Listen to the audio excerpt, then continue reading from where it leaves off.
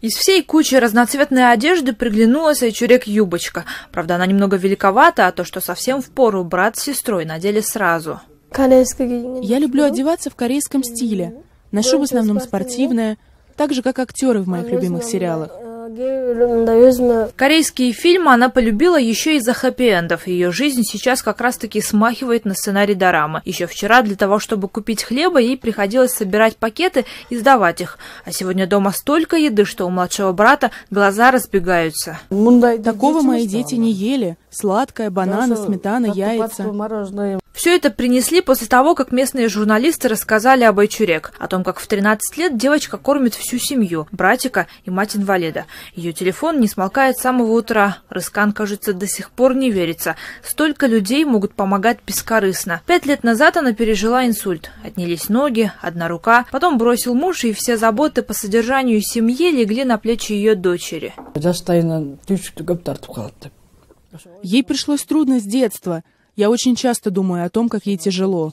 Дочка знает это и старается не расстраивать меня, потому что у меня может подняться давление. Каждый день после школы Айчурек вместе с подругой идет на рынок собирать пакеты. Надо успеть, пока не придут другие дети или дворники, их конкуренты.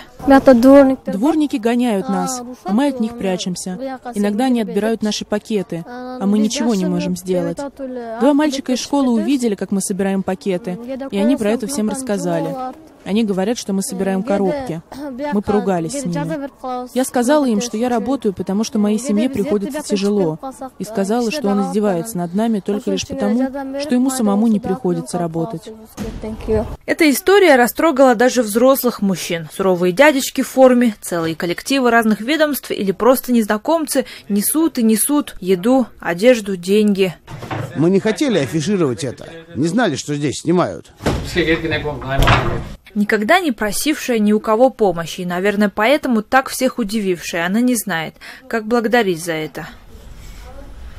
Говорить самое большое желание исполнить никто не может. Ей хочется, чтобы мама вылечилась, и брат не болел. У него нашли артрит, и врачи боятся, что и он не сможет ходить. Поэтому теперь Айчурек мечтает стать не танцовщицей, как раньше, а врачом, чтобы вылечить маму с братом.